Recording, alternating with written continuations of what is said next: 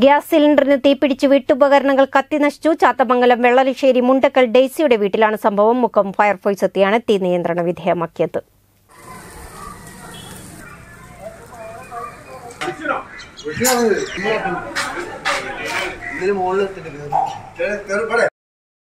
ചാത്തമംഗലം ഗ്രാമപഞ്ചായത്ത് പതിനൊന്നാം വാർഡിൽപ്പെട്ട വെള്ളലശ്ശേരി മുണ്ടക്കൽ ഡെയ്സിയുടെ വീട്ടിലാണ് ഗ്യാസ് ലീക്കായി ഗ്യാസിൽ നിന്ന് തീ പടർന്ന് ഫർണിച്ചറുകൾ കത്തിനശിച്ചത്. Dining table fridge T V കട്ടിലുകൾ തുടങ്ങിയ ഗൃഹോപകരണങ്ങളാണ് കത്തിനശിച്ചത് തൊട്ടടുത്തുള്ള തെങ്ങിനും തീപിടിച്ചു ഗ്യാസ് തീർന്ന സിലിണ്ടർ മാറ്റി പുതിയ സിലിണ്ടർ ഫിറ്റ് ചെയ്തപ്പോഴാണ് ലീക്ക് വന്നത്. ഗ്യാസ് സിലിണ്ടറിന് വിള്ളലും സംഭവിച്ചു. ഒൻപതിനായിരത്തി അഞ്ഞൂറ് രൂപയും കത്തിനശിച്ചിട്ടുണ്ട് മുക്കത്ത് നിന്നും assistant station officer P K ഭരതന്റെ നേതൃത്വത്തിലുള്ള സേന സംഭവസ്ഥലത്തെത്തിയ ശേഷമാണ് തീ പൂർണമായും അണച്ചത്.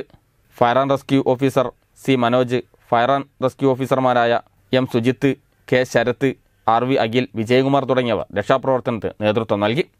News bureau Mavoor.